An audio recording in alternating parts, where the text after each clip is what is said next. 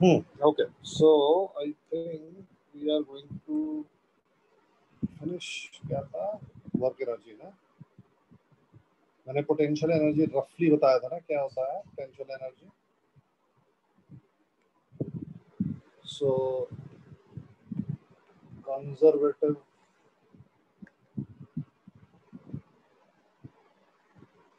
conservative forces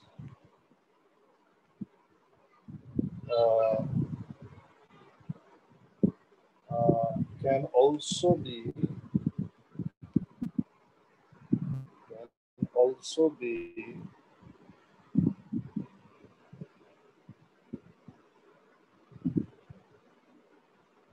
नहीं भैया मेरा लेक्चर है ना can also be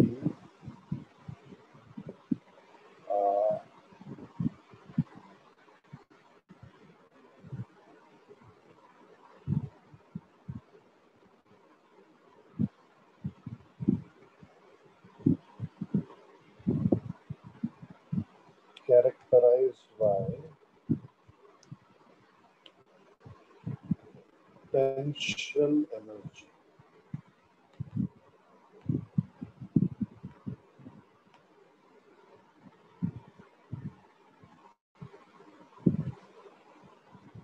So, summation of work done by conservative forces can also be written as minus of change in potential energy. Okay, so we have uh, some ground to cover today. Okay, so please uh, pay attention.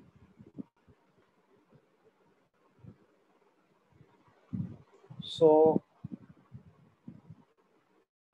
work done by conservative forces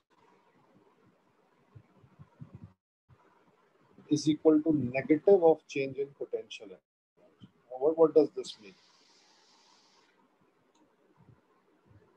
So if I am taking, sorry, if I am taking a particle from position 1 to position 2, so the particle is here, and then I take the particle along this path particle is now here. So let this be RF. Let this be RI. So I said that for conservative forces, work done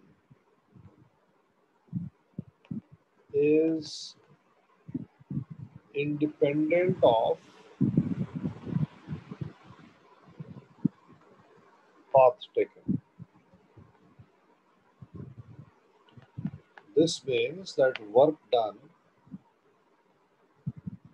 only depends on sorry work done only depends on the initial and final points. Right. So what I will do is, as a logical step, I will say that look, if the particle is here, then its potential energy is ui. And if the particle is here, then its potential energy is uf. Okay. So now we define potential energy which depends on the location of particle. Therefore, Ui, which is the initial potential energy, depends on initial position right and similarly final potential energy depends on final position आपको याद है you remember in class 10th your teacher would have told you that potential energy is the energy of configuration of the system. Right? The teacher was not wrong, absolutely right. It is the energy of configuration, but it is slightly more complicated, slightly more subtle than that. So potential energy number one can only be associated with conservative forces and potential energy number two is only a function of the position of the particle. Particle kahan pe hai, that will decide what the potential energy of the particle is. Now, if the work done is independent of path, that means that it is independent of the red line that I have drawn, and it is dependent only on the initial and final positions, therefore it stands to reason that the work done must be dependent on the initial and final potential energies. Okay. So it's like saying this. Supposing that you are standing on top of Mount Everest, okay, and you want to go to Mount Kanchenjunga, okay, you want to go to the top of Mount Kanchenjunga. Now, Mount Kanchenjunga is apparently one of the toughest peaks to climb. I don't think anybody has climbed it as yet, but supposing that you want to go from the peak of Mount Everest to the peak of Mount Kanchenjunga, right? So I'm going to just change the slide. I'll come back to it and then you can take a snapshot or you can take a snapshot right now because I want to draw the Everest. I'm going to change the slide. So supposing that this is Mount Everest and this is Mount Kanchenjunga, right? And you are standing here and you want to go here, right? What will you do? One option, of course, is मेरे को याद आया वो अचानक से मेरे मन में आया वो कैप्टन गैजेट हुआ करता नहीं इंस्पेक्टर गैजेट। ठीक है? तो इंस्पेक्टर गैजेट के टोपी में एक हेलीकॉप्टर हुआ करता। है I don't know whether you guys have seen this uh, cartoon or not. तो देखा है किसी ने? Inspector gadget? नहीं देखा है? कोई नहीं। कोई बात बेटा डीसी और मार्वल के बियॉन्ड भी दुनिया है। तो इंस्पेक्टर गैजेट के टोपी में वो रहता था हेलीकॉप्टर तो बोलता था गो गो गैजेट कॉप्टर तो helicopter used to come out of his cap and there was two two handles also used to come out so he could steer the thing उसके बाद से हेलीकॉप्टर के blade घूमना शुरू करते थे and that guy used to fly away so unless you have something like that or a ropeway as somebody suggested, अब ropeway के लिए भी बहुत फाइट मारनी पड़ेगी माउंट एवरेस्ट के पीक से कंचनजंगा के पीक तक. So unless you have something like that, which we don't, what you are going to do is that you are going to follow a path which is going to lead from the top of Mount Everest down to the bottom and then you are going to climb up again, right? Okay. So now once you have uh, reached the final position, I want to ask you, uh, what is the difference in height? Okay? I mean, what what is the difference in height uh, uh, between your initial and final position. So there are two ways of doing this. Number one is that as you are coming down, okay, as you are coming down, you actually calculate कि आप कितना नीचे जा रहे हो, and then as you are coming up you calculate ki aap kitna upar ja rahe ho and then you find out the difference and you'll find ki aapko kitna height ka difference hai and then you say ki acha mount everest ka height itna tha usse main itna niche aa gaya therefore ab main itne height pe hu but there is another way of doing this which i think is a better way of doing this and that is that the height of the peak of mount everest from the mean sea level is already defined and the height of mount kanchenjunga from the mean sea level is already defined so to find the difference in height all you have to really do is subtract these two given figures so we already know that the height of Mount Everest is something like 8856 meters. and let's say Kanchenjunga is, I don't know, 7,020 uh, meters. All you have to do is, all you have to do is subtract. And when you subtract, uh, you get the difference in height. Now, the thing is that it does not really matter how you go from the top of Mount Everest to the top of Mount Kanchenjunga you may fly, you may take the uh, ropeway, uh, you may walk down and then up. It does not matter. It does not matter what path you take. If you are going from the top of Mount Everest to the top of Mount Kanchenjunga, the difference in height that you have traveled will be independent of path, but it will be dependent on the actual height of Mount Everest and Mount Kanchenjunga. Right? It will be dependent on these two numbers. So associated with this point in space, there is a number 8856 and associated with this point in space, there is a number 7020. And if you are going from this point in space, if you are going from this point in space to this point in space, then all you have to do is subtract these two numbers uh, and you will get the height difference between these two points. In the same way, every point in space is associated with this thing called potential energy. So here the potential energy is Ui, here the potential energy is UF.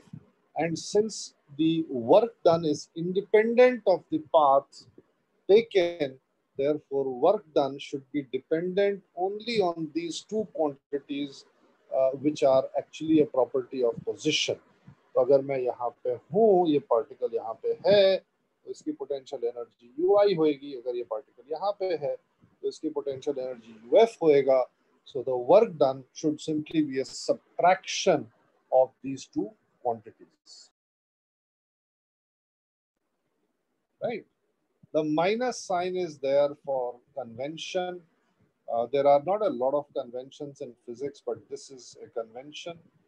Uh, the minus sign simply tells me that the uh, potential energy, if I know the potential energy everywhere, then the particle will move such that it will always go from a region of high potential energy to low potential energy. That is the natural way in which the particle will move. Okay? But we'll discuss that. We'll discuss that later. Okay? अभी इस chapter में नहीं we'll discuss that in detail in electrostatics. Okay, so work done by conservative forces is equal to minus delta U and and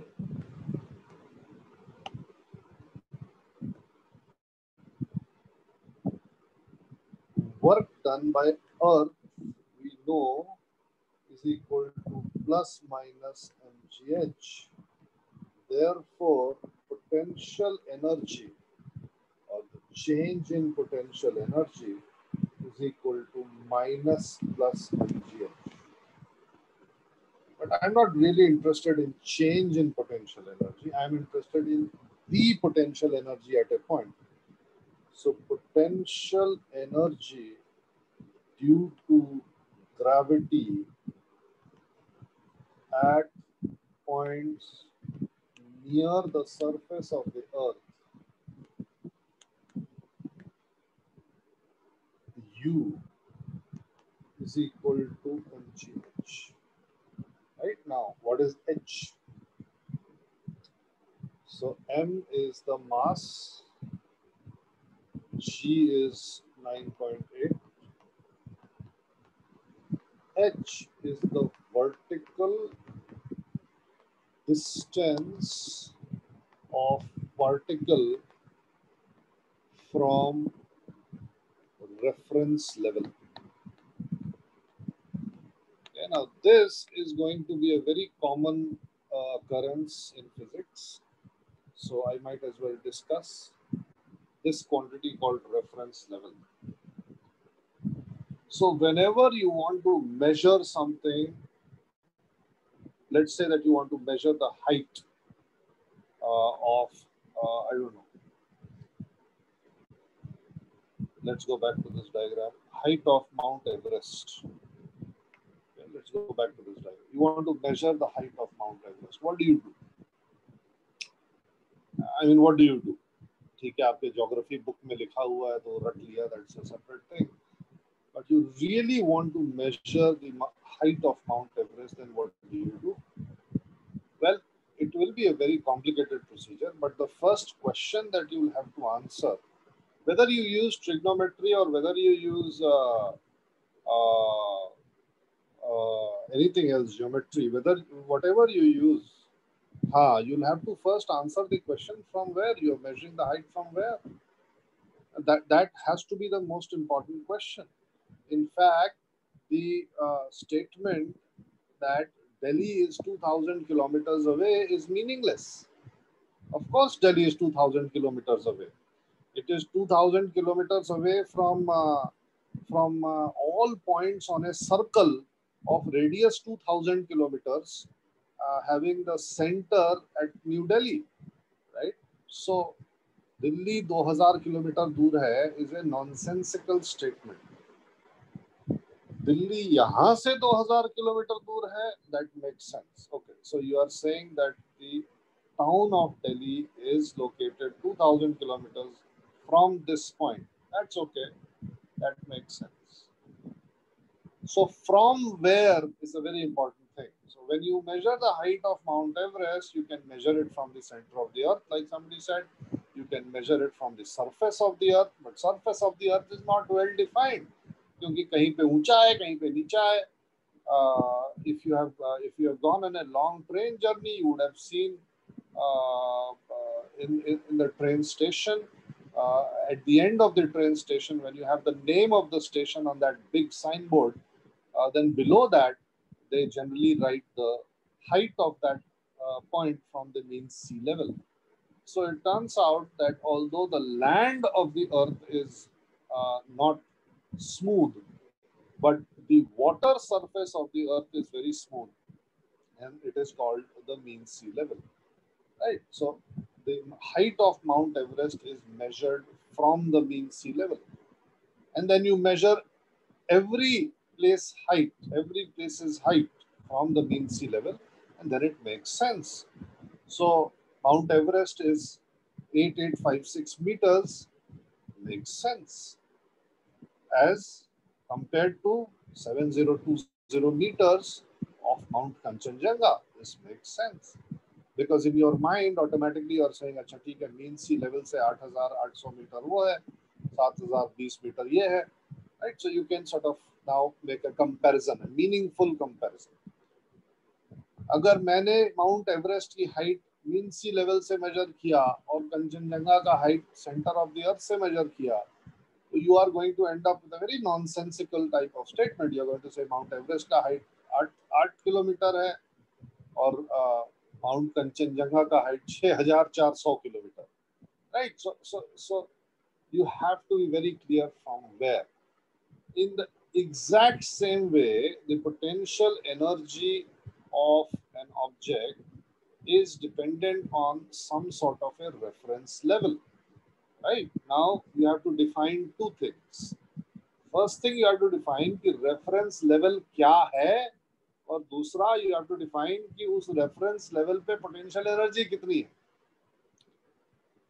तो जब हम Mount Everest की height define कर रहे हैं तो हम ये बोल रहे हैं कि हम ये हाइट मीन सी लेवल से मेजर कर रहे हैं और मीन सी लेवल का height zero metres right Okay. So in the same way, the gravitational potential energy that you have already seen, that's why I've just written it. I don't want to prove it. I don't want to do anything with it. I just, I'm just writing it down because you have already seen this. I just want to make something clear. That something is the value of H. And that something is also the fact that potential energy carries no meaning whatsoever unless and until you define a reference level and you define the potential energy at that reference level. Now, generally, whatever reference level you define, the potential energy at that reference level you are going to take as zero, right? But that may not be necessary. Somebody else might, you know, जिसको बहुत ज़्यादा smart बनना है वो ये बोल सकता है कि अच्छा ठीक है रेफरेंस लेवल को ले लो रेफरेंस लेवल पे जो पोटेंशियल एनर्जी हम डिफाइन करेंगे twenty thousand twenty thousand metres right twenty thousand joules वहाँ की पोटेंशियल एनर्जी है तो बाकी जो बाकी जो भी पोजीशन है उसकी जो पोटेंशियल एनर्जी है that will be measured with respect to 20,000 joules. Another example I can give you, uh, although you should not confuse because it is confusing. In electrostatics, in electromagnetism, there is a term called potential. Right now, it is connected to potential energy, but it is not potential energy. So the potential of the Earth is zero, and therefore the potential in your plug, the voltage in your plug is 220 volts. Okay. If the potential of the Earth would have been defined as 100 volts, then the potential in your plug would be defined as 320 volts. Right? So the potential difference is really what matters. तो आपके आप अगर plug में उंगली डालोगे विच I would suggest you don't please अगर आप plug में उंगली डालोगे तो you will be exposing your body to A potential difference of 220 volts because your finger uh, would be at 220 volts whereas your feet if they are connected to the earth they will be at 0 volts so the electrons would flow from the region of, or let me not say electrons, charges would flow from the region of high voltage to the low voltage because that is what they want to do and uh, you, you would get electrocuted, right? Similarly, if you were to go and catch a high tension wire in which the potential is 11,000 volts, uh, then your body, and uh, provided that your feet are uh, on the ground, then your body would be subjected to a potential difference of 11,000 volts. And of course, the charges, uh, they are now more eager to travel from high voltage to low voltage because the voltage is higher, greater the difference, uh, greater the uh, propensity to, you know, the travel down that path. So a huge amount of charge, much larger than as compared to when you poke your finger in the uh, electrical socket in your home, much larger amount of charge will flow through your body, of course, making that damage much more. Right? In the same way, when you drop, absurd question मत पूछो मुझसे नहीं अगर आपका अगर if your if your feet and your legs uh, if your feet and your hand are both at 220 volts then you will not get an electric shock please don't try it okay you will not be able to कहीं पे लिख के नहीं आ रहा है कि यहाँ 220 volt हो गया है तो ऐसा नहीं होगा कि आपको पता चलेगा So when you drop a ball, if I drop, if I just go outside and drop a ball from my balcony, uh, it will definitely fall down. And the region, uh, the reason is that it wants to go from a region of high potential energy to low potential energy. So the potential energy of an object in a gravitational field near the surface of the Earth is given by mgh, where h is the vertical distance of the particle from the reference level, right? Now, I want to take the example of the ball thrown from my balcony uh, to the next level now. So if I am throwing the ball from the balcony here, so this is my hand, ball has been dropped. Okay? I'm not throwing, I'm just dropping it this is the ground and this is i don't know the 20th floor i'm somewhere here so let this height let this height be I, I, let this height be 20 meters let this height be 10 meters right now where should i take the reference level to be well it really does not matter if i take the reference level here to be zero okay ठीक है ball को कोई फ़र्क नहीं पड़ता। मैं ball को जो है उसके कान में बॉल के बोलूँगा, देख, तू तो ज़ीरो मीटर पे है। तो बॉल को कोई फ़र्क नहीं पड़ रहा है, क्योंकि बॉल की पोटेंशियल एनर्जी यहाँ पे ज़ीरो जूल्स है। लेकिन बॉल की पोटेंशियल एनर्जी यहाँ पे माइनस ट्वेंटी मीटर पे पोटेंशियल एनर्जी हो जाएगी minus M G into twenty Now, if you take G as 10, then this will be equal to minus 200 m. Okay, and if you take the mass of the ball as 1 kg, it will be minus 200 joules. And the potential energy here, which is plus 10 meters, right? So this is plus 10 meters. The potential energy will be equal to 100 joules, right? So यहाँ पे minus 200 joules है यहाँ पे plus hundred joules है और जहाँ से मैं बॉल को ड्रॉप कर रहा हूँ वो zero joules so the ball does not care whether I designated this as zero metres right मैं बॉल के कान में फूकूँगा कि अरे तू तो ज़ीरो मीटर पे है और मैं ड्रॉप करूँगा तो it will not be as if the ball will say अच्छा मैं तो ज़ीरो पे हूँ तो खत्म, और नीचे क्या जाना? No the ball will say that look my potential energy is zero joules, but the location here, but if the position of the ball were, if the position of the ball were here, then the potential energy of the ball, then the potential energy of the ball would be minus 200 joules. It wants to go from a higher potential energy to lower potential energy.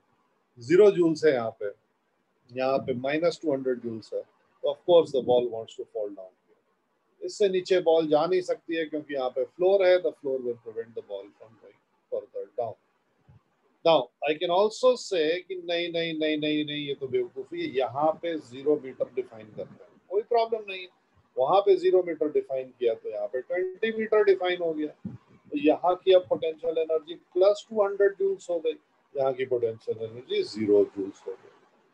तो in either case whether you are making the whether you are you know having the reference level at the bottom or at the top or at the I don't know wherever the ball is you can take the reference level to be anywhere you want the potential energy will adjust itself accordingly right now I have told you that the work done by a conservative force is negative of change in potential energy so if the ball is dropped from this initial position to this final position right? Then according to the yellow reference level, initial potential energy is zero, final potential energy is minus 200 and minus of delta U is equal to minus of UF minus UI 200 that is equal to 200 joules, right? And,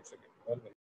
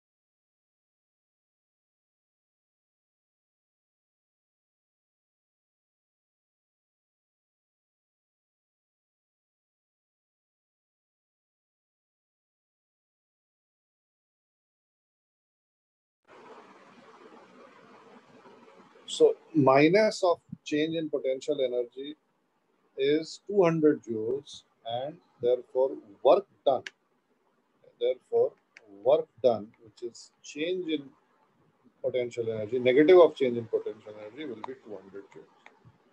So what is potential energy? Well, potential energy is nothing but work done. मैंने आपको कोई नई चीज़ नहीं बताई okay instead of finding the line integral of a force between initial point and final point alternatively you can simply subtract the potential energies between those two points and that will give you the work done.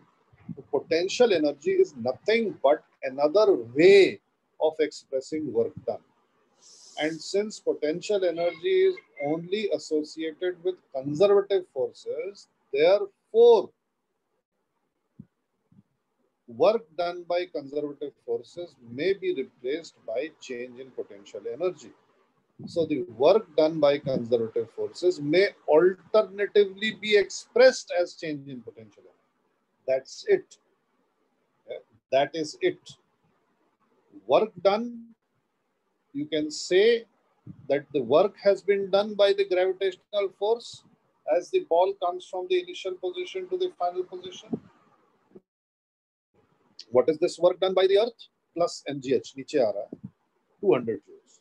Or you can say that the work, uh, or you can say that the change in potential energy, negative of change in potential energy uh, of the ball is equal to minus delta U, which is minus minus 200, which is 200 joules. So the change in negative of change in potential energy is also 200 joules. So these are two different ways of expressing the same thing. Okay? Same thing. Work is done by a conservative force. Negative of change in potential energy. Okay? Absolutely the same thing. नहीं नहीं work energy theorem जैसा नहीं है ये नहीं नहीं work energy theorem जैसा नहीं है let me explain let me explain let me explain so i can now write the work energy theorem i can now write the work energy theorem as summation of work done is equal to change in kinetic energy right this is the work energy theorem. but this summation of work is the summation of work by all forces. And some forces may be conservative, some forces may be non-conservative. So I will change the left-hand side and I will write summation of work done by conservative forces plus summation of work done by non-conservative forces is equal to delta K. So C stands for conservative and NC stands for non-conservative.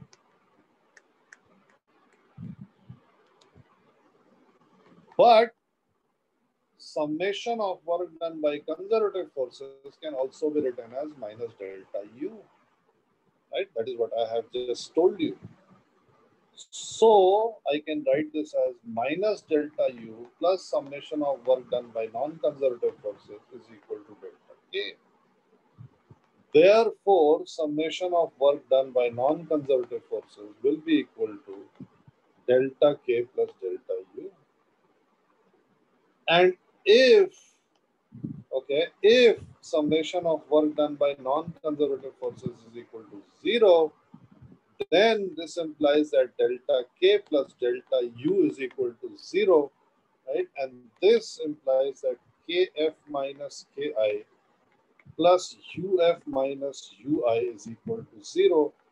This implies ki plus ui is equal to kf plus uf and this is called the law of conservation of mechanical energy.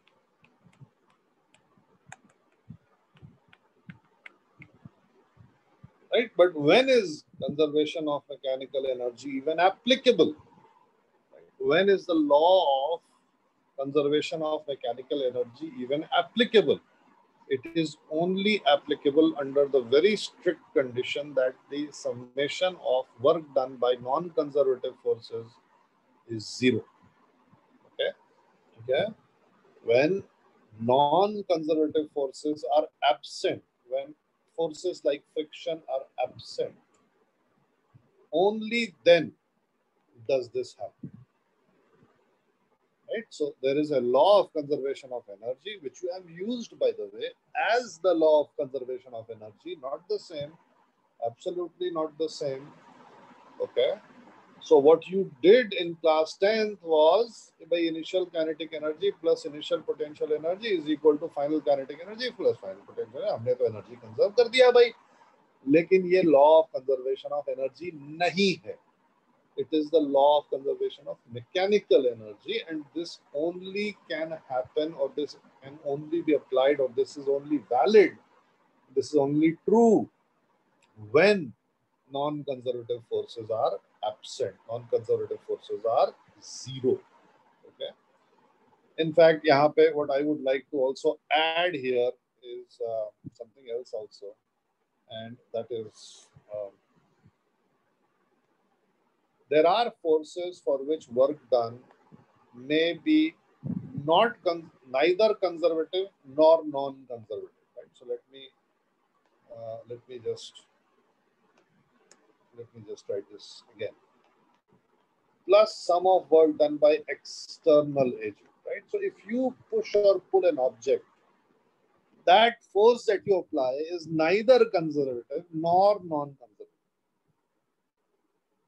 so we get summation work done by external agent is equal to delta K. So we get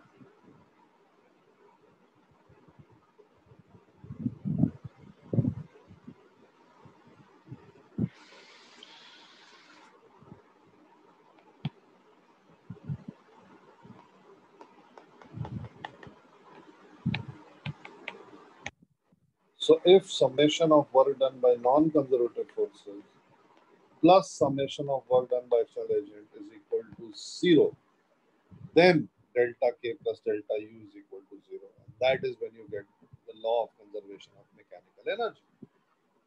So भाई आप आप आप ball को जमीन से उठा लो आप you pick up a ball from the floor you are an external agent and the work done by you will neither be conservative nor be non-conservative and the law of conservation of mechanical energy will not apply in this case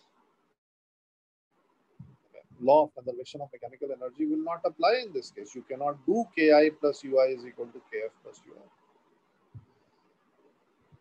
ठीक है ना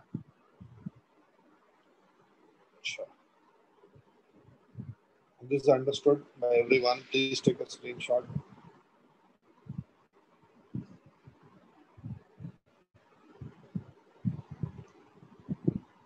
India screenshot.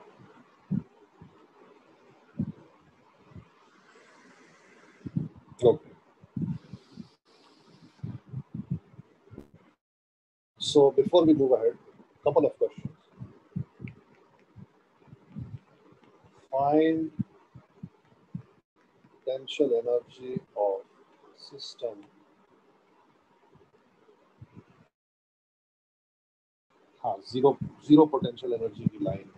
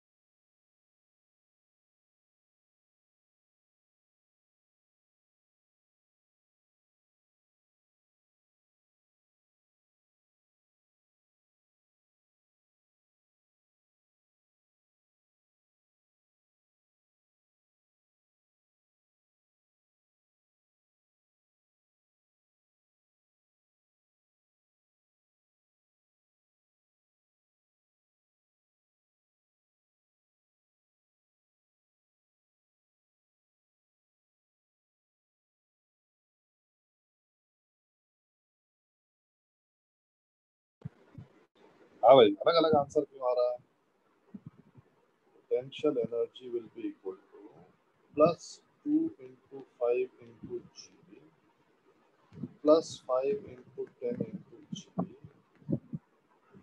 minus three into two into G minus four into eight into G मैंने N जी H नहीं लिया, मैंने उसको पूरा मिला उला ले लिया। Plus hundred plus 500 minus 60 minus 320 plus 200 Right, this will be the potential energy of the system. Okay. So now what we learned yesterday, the application.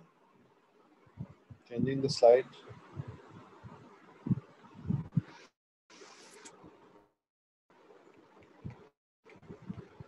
find potential energy of chain of mass m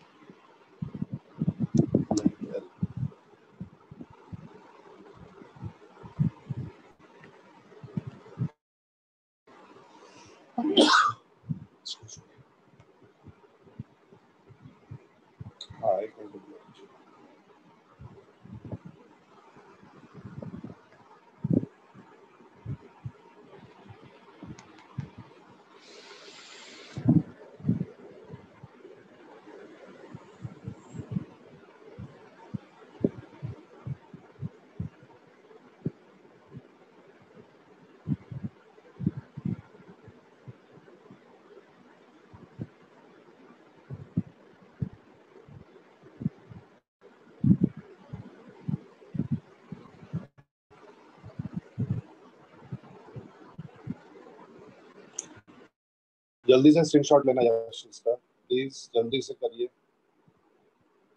हो गया?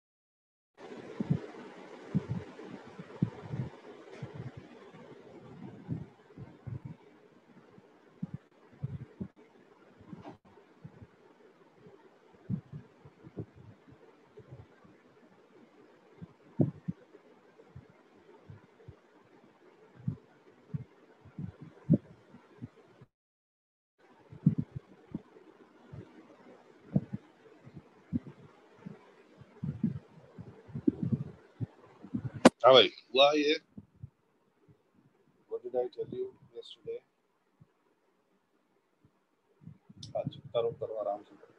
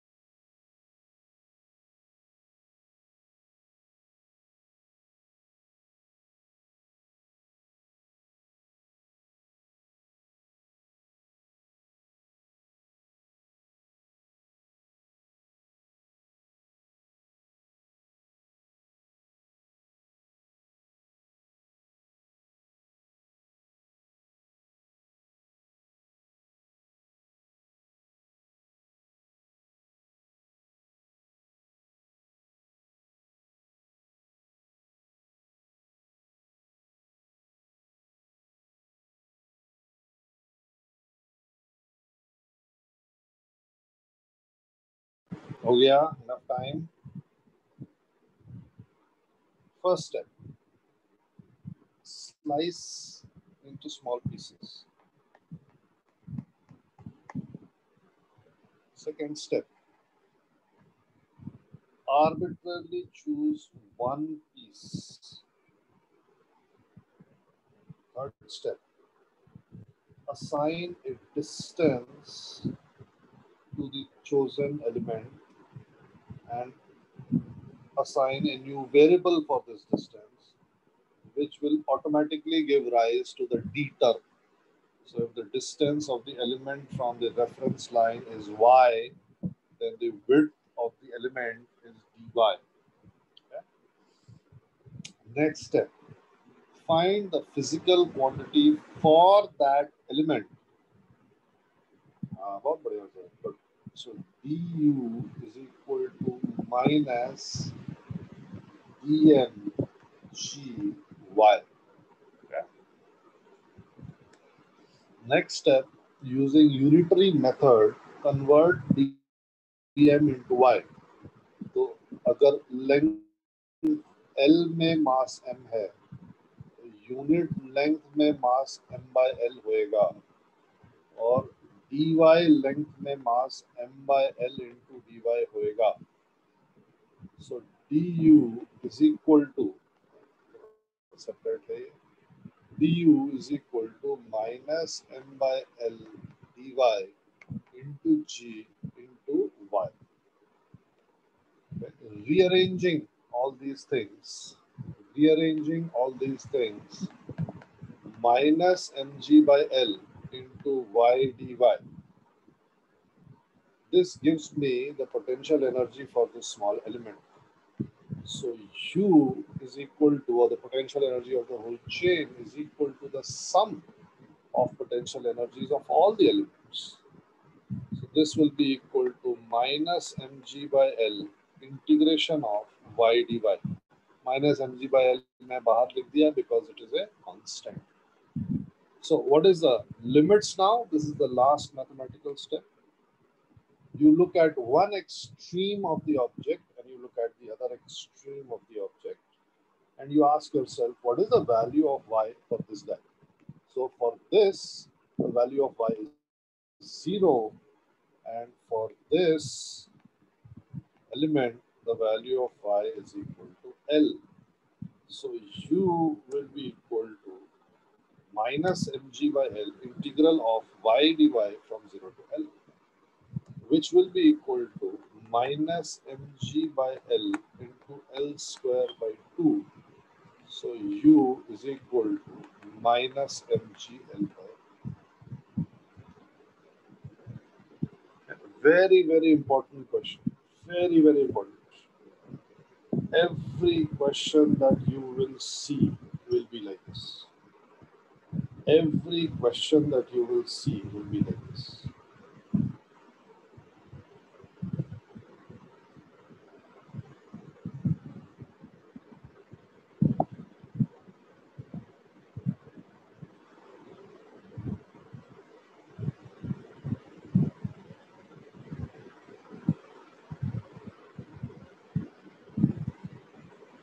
Okay, I'm going to change the slide.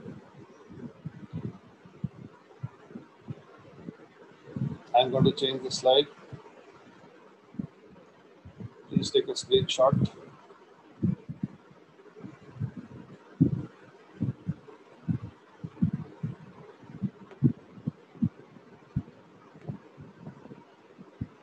Question three.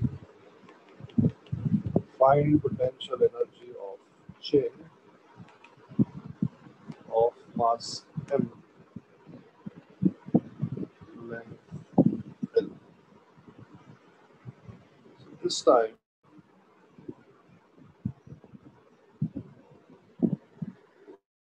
chain is kept on a sphere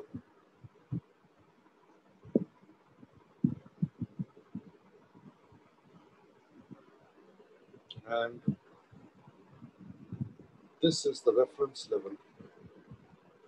The radius of the sphere is r. And the length of the chain is less than pi r by 2.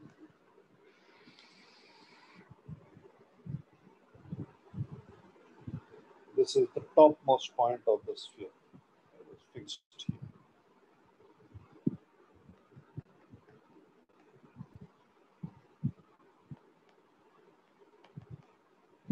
So now try this.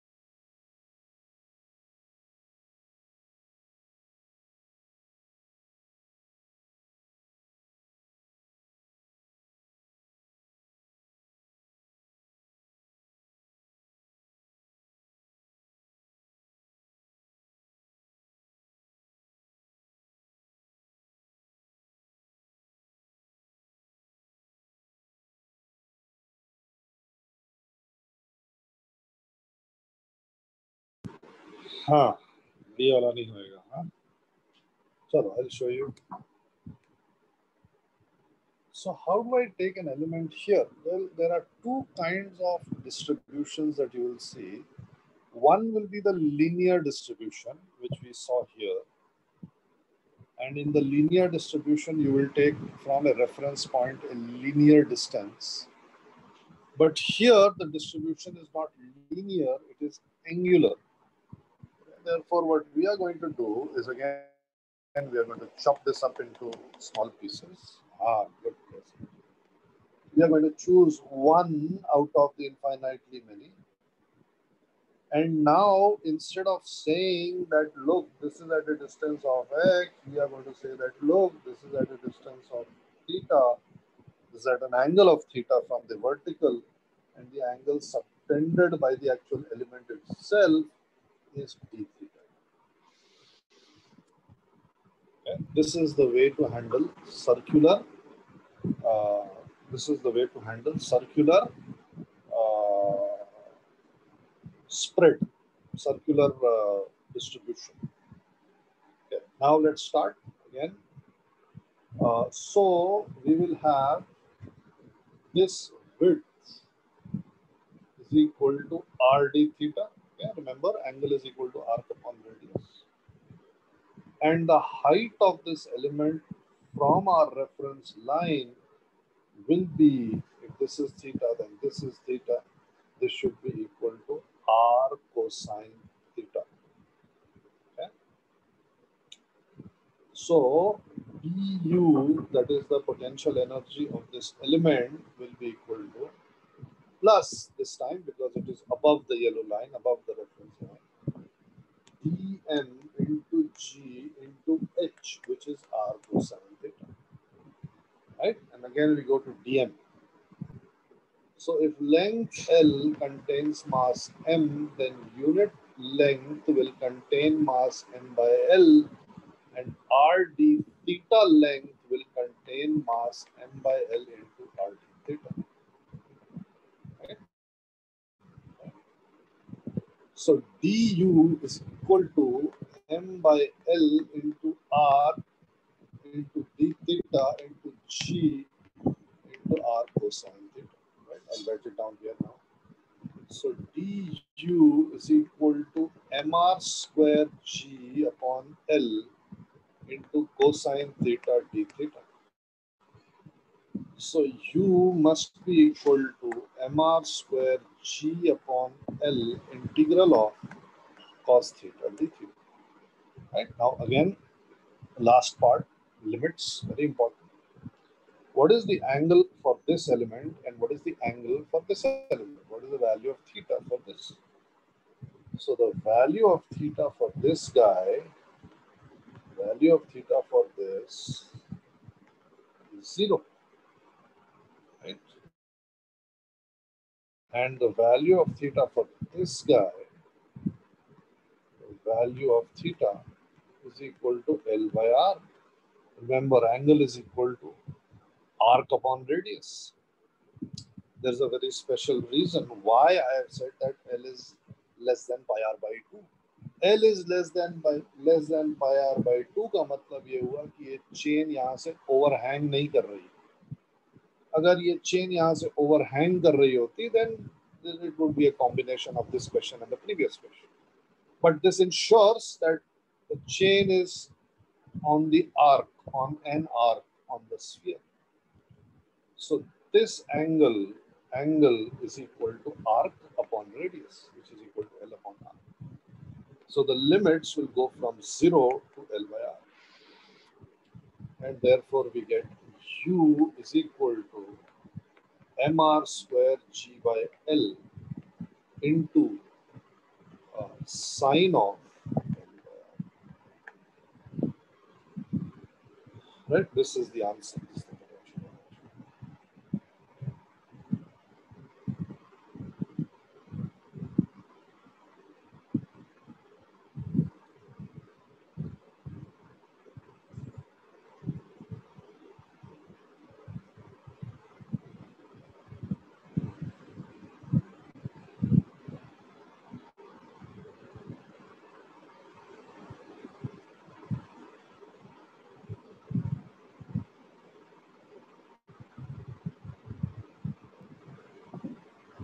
Right? Please take a screenshot, write it down.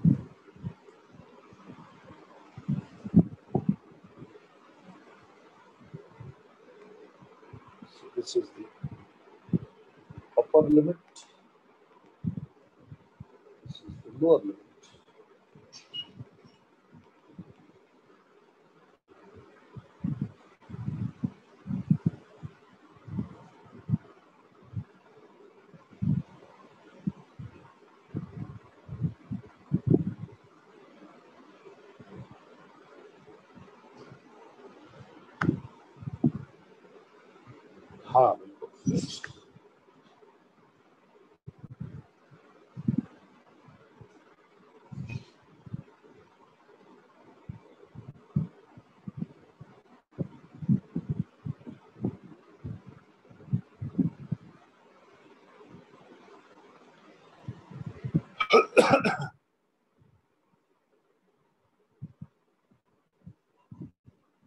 I'm changing the slide now.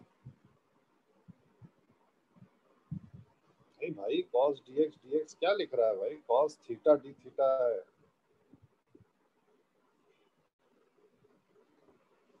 I'm changing the slide now.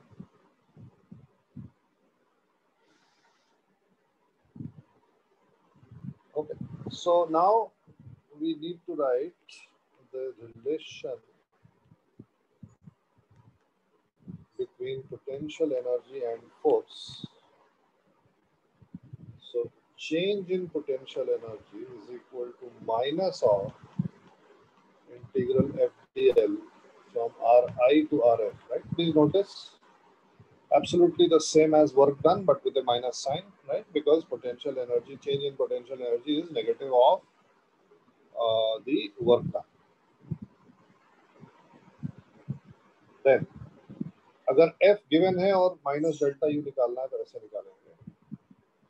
अगर u given x component of force will be minus del u by del x that means you are differentiating u only with respect to x. Y component will be minus del u by del y. Z component will be minus del u by del z.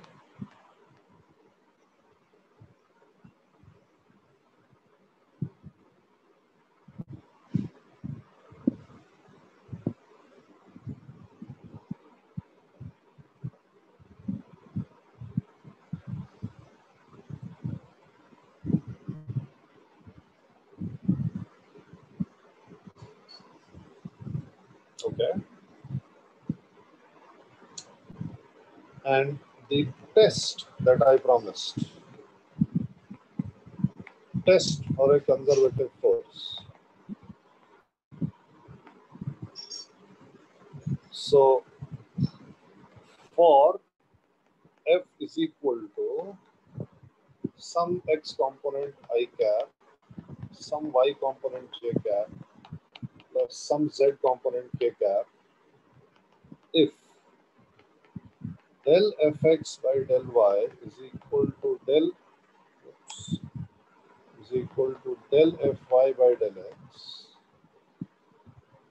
Del fx by del z is equal to del fz by del x.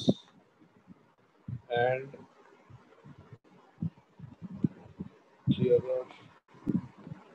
del fy by del z is equal to del by del y, then force is conservative.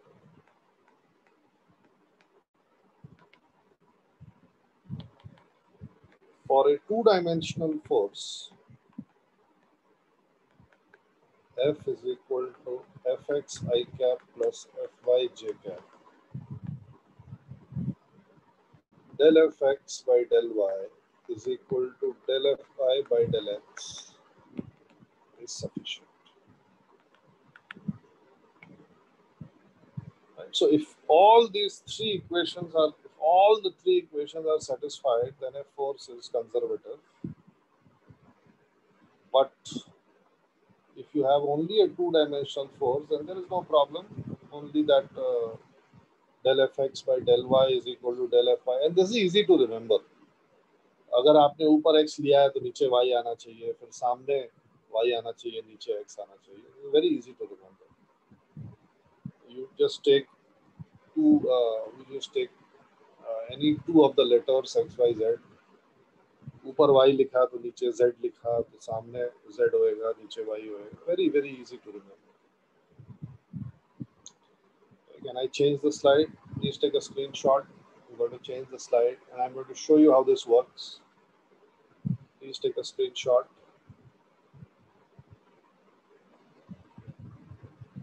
Yeah screenshot. Okay. So what was the first force that we had discussed? Y i cap plus x j cap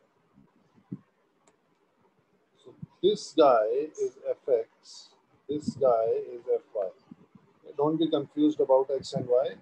When I'm writing the x component, it is the i cap coefficient. When I'm writing y component, it is the j cap coefficient.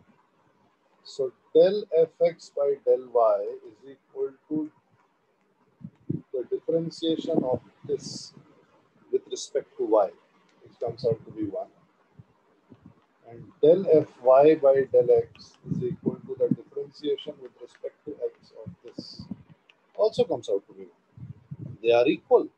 Therefore, the force must be conservative. Okay. Let's try the other one. F is equal to 2xy i cap plus x square j cap. Right?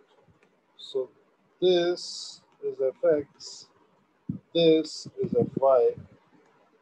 So we get del fx by del y is equal to the differentiation with respect to y of 2xy, where you have to treat x as a constant. 2 is of course a constant. So 2x comes out and you're differentiating y with respect to y, which is 1. So you get 2x. Del fy by del x is equal to del y del x. Now you're differentiating x square with respect to x and you get 2x. They are the same.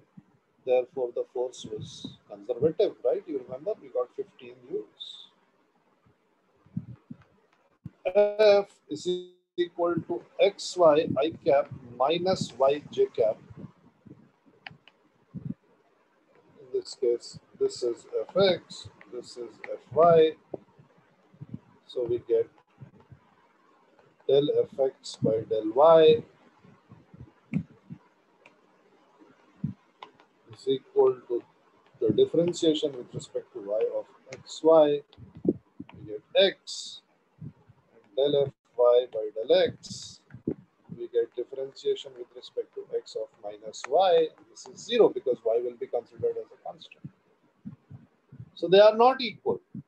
Since they are not equal, that's it. End of story. This cannot be conservative. Okay. I hope you are understanding. It's just basic differentiation with a weird symbol. And that symbol is telling us to carry out a very specific operation. That operation is that you are going to differentiate with the letter with respect to the variable in the denominator, but keeping all the other variables as constants.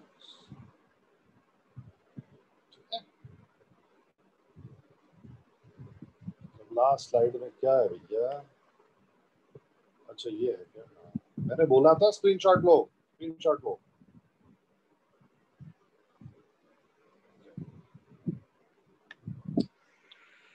now one more thing remains actually two more things remain so let's quickly cover this Number one is uh, for forces in one dimension.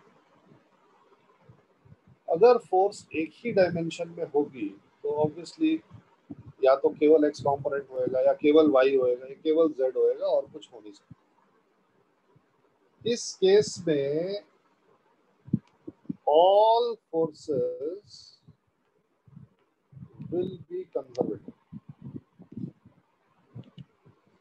Right? How is this? So F will be equal to plus minus some function of x, right? This is the x component.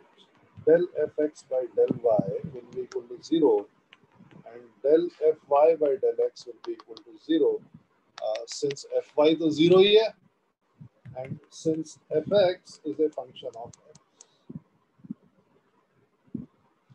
तो अगर कोई भी function of X का force आ गया for example spring force F is equal to minus के it is guaranteed that this force will be conservative and for this we can write f is equal to minus du by dx notice now i don't have to write del so this tells me that force is equal to the negative of the slope of ux graph. So this means that if I were to draw a graph between x and u, right, and the graph would be something like this, I don't know, maybe something like this.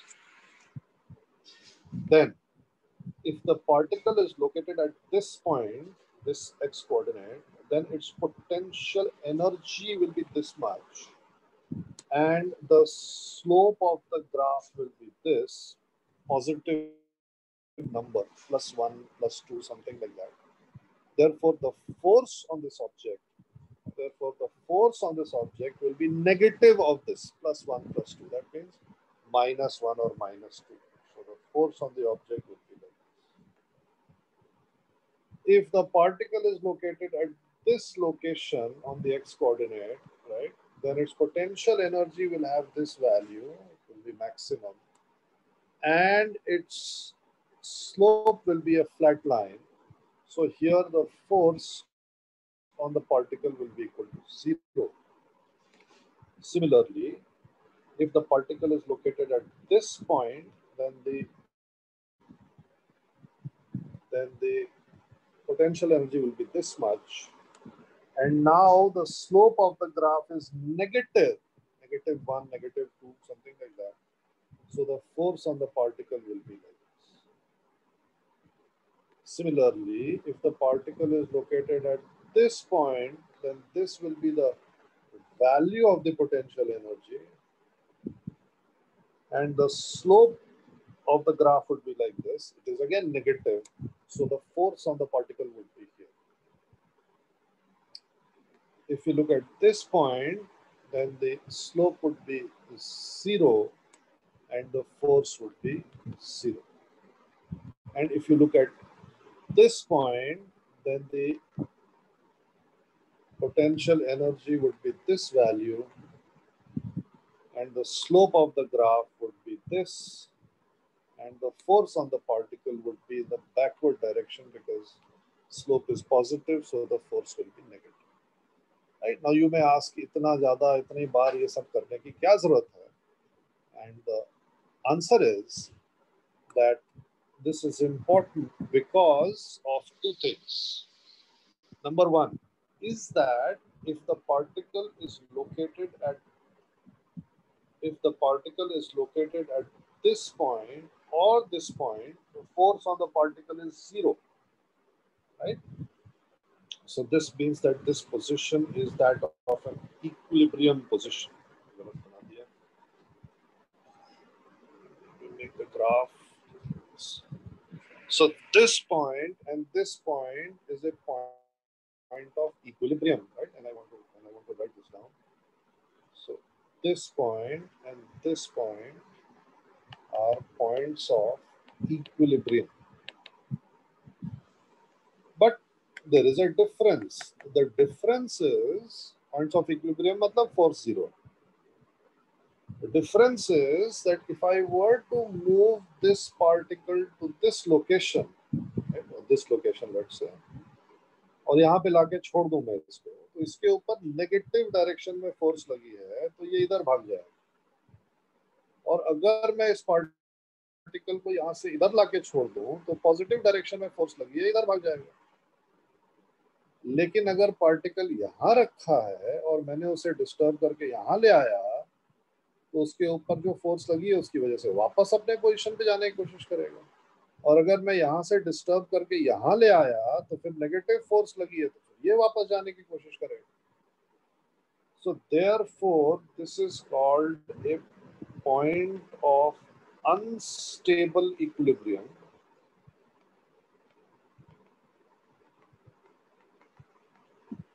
and this is called a point of stable equilibrium.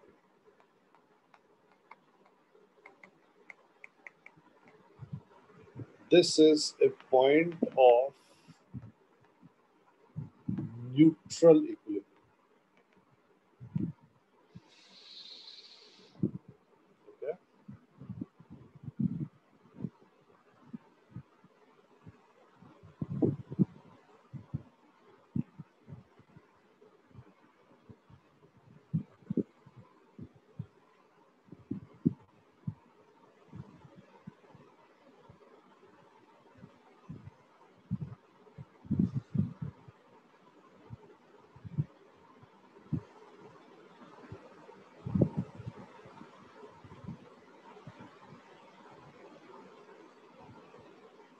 ठीक है, ये सारी theory है।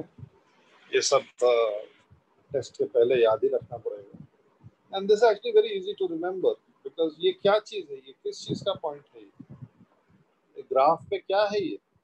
और ये graph पे क्या है? What is this point maxima this is minima right maxima minima का याद है किसी को? क्या होता है? हाँ। स्टेबल इक्विलिब्रियम के लिए d2u by dx square should be less than zero. Unstable equilibrium के लिए d2u by dx square should be greater than zero. Neutral equilibrium के लिए d2u by dx square should be equal to zero.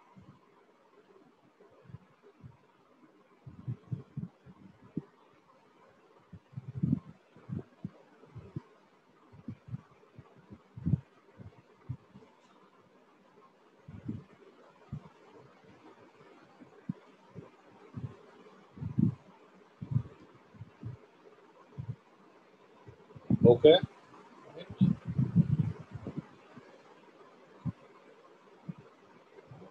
Maxima कहाँ होता था? Maxima के लिए क्या कंडीशन होती?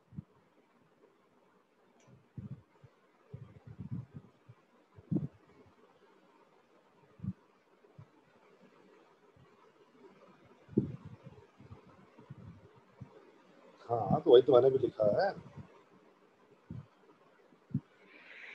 नहीं मैंने ये नहीं लिखा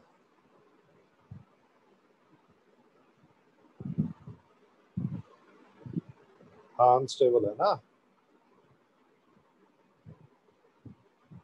ओह मैंने गलत लिखा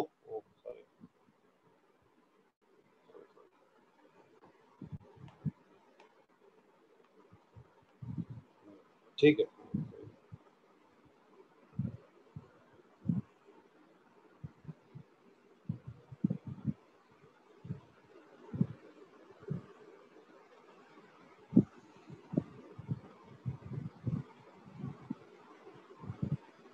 right so this is uh, something that you need to know and finally i'm going to change the slide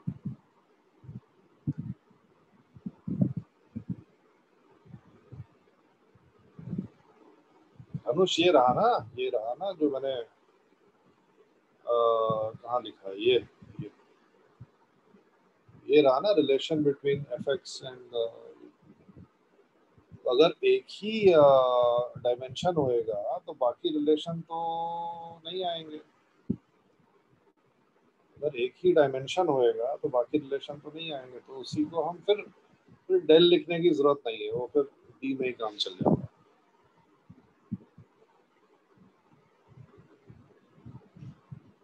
Okay sure one more thing, one more thing i want to tell you and that is the concept of power perhaps one of the easiest things in physics. No complications whatsoever. No deviation from what we have learned in class 10. So power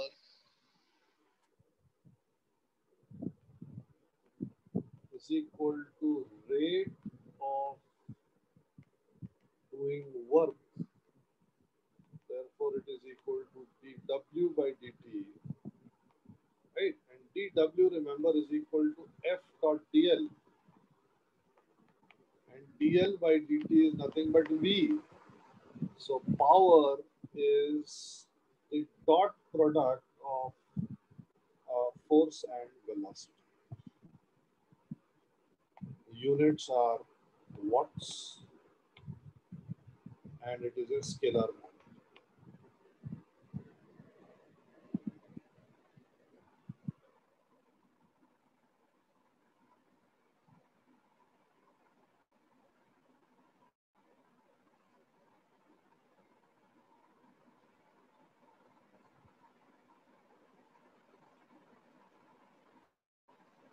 ठीक है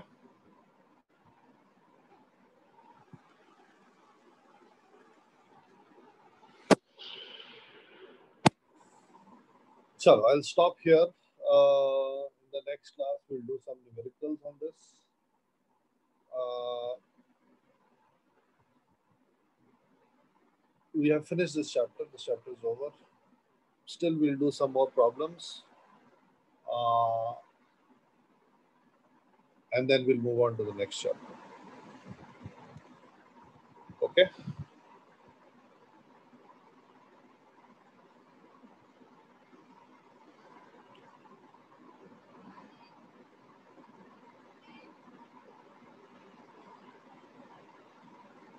चलो इसके बाद class है क्या should I and the meeting और you are going to continue there is a class after this no class Okay, I'll end. I'll end it. Okay. Chalo, bye bye. bye, -bye.